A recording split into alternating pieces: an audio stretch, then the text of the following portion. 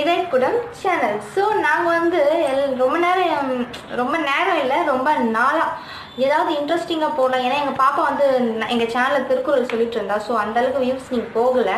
So நிறைய பேரும் subscribe பண்ணாததுனால சரி கொஞ்சம் ஃபன்னாக போட்டுட்டு அதுக்கப்புறம் திருப்பி திருக்குறளை கண்டினியூ பண்ணலாம் அப்படின்னு நாங்கள் யோசிச்சிட்டே இருந்தோம். ஸோ நாங்கள் யோசிச்சிட்டே இருக்கும்போது தான் இப்போ மழை இல்லையா?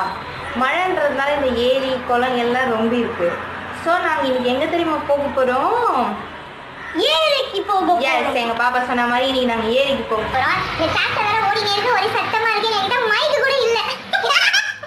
சோ இன்னைக்கு நாங்க எங்க போக போறோம்னா ஏரிக்கு தான் போறோம். சோ கொஞ்சம் ஜாலியா ஃபன்னான வீடியோ போடலாம்னு நாங்க ரொம்ப நேரம் யோசிச்சு யோசிச்சு யோசிச்சு அதனால இந்த வீடியோ இன்னைக்கு போடலாம். ஏரினா சும்மா ஏரி கிடையாது. அந்த ஏரியில வந்து ஏரி ஃபுல்லா தண்ணி வந்துட்டு எது ரொம்ப போகுதுடா பட்ட? கடவாசல் எஸ் கடவாசல் வந்து ரொம்ப அப்படியே அந்த தண்ணி பார்க்கறதுக்கே அழகா நீர் வீழ்ச்சி மாதிரி தெரியும். ஸோ அதனால் இன்னைக்கு வந்து கடவாசல் வந்து தண்ணி ஃபுல்லாகி போகிட்டே இருக்குது ஏன் இவ்வளோ லேட்டாக நாங்கள் போடுறோன்னா எங்கள் சைடெல்லாம் அவ்வளோவா மழை இல்லை.